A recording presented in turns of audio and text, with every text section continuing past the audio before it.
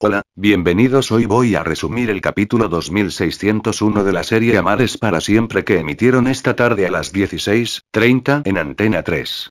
No olvidéis darle un like a este vídeo, compartirlo y suscribirse al canal y activar la campanita para que YouTube os notifique de mis nuevos vídeos. Gracias a vosotros ya somos más de 1600 suscriptores y me haría mucha ilusión llegar a los 2000 y con vuestra ayuda lo conseguiremos, gracias y vamos con el vídeo de hoy. Luján piensa que alguien ha acabado con la vida de su hijo Jesús, haciéndolo pasar por un suicidio. En una reveladora conversación, el hombre le ha dicho a Jorge que su hermano nunca podría haber hecho algo así y le ha contado la advertencia de Sevilla. Luján recibe una trágica llamada. Han encontrado muerto a su hijo Jesús. Sabino, tras hacerse pasar por un técnico, confiesa a Rocío su verdadera identidad. Es el padre de Hugo. Después de abandonarlo cuando apenas era un bebé, el hombre ha decidido darle una explicación a su hijo. ¿Cómo se tomará Hugo la noticia? Ahora que está en una etapa estable y tranquila de su vida, el joven farmacéutico se ha dado cuenta de que la felicidad viaja de incógnito. Sin duda, desde que Rocío ha vuelto a la farmacia, Hugo sonríe más. ¿Se darán la oportunidad que se merecen?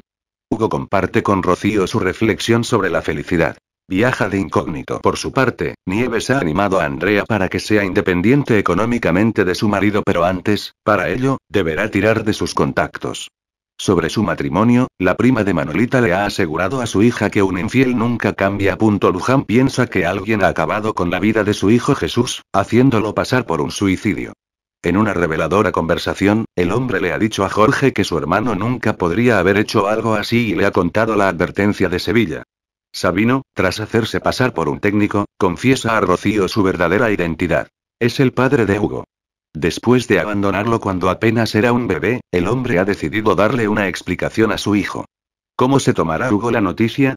Ahora que está en una etapa estable y tranquila de su vida, el joven farmacéutico se ha dado cuenta de que la felicidad viaja de incógnito.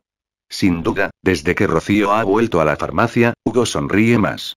¿Se darán la oportunidad que se merecen?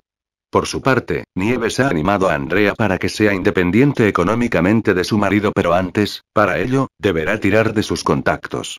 Sobre su matrimonio, la prima de Manolita le ha asegurado a su hija que un infiel nunca cambia.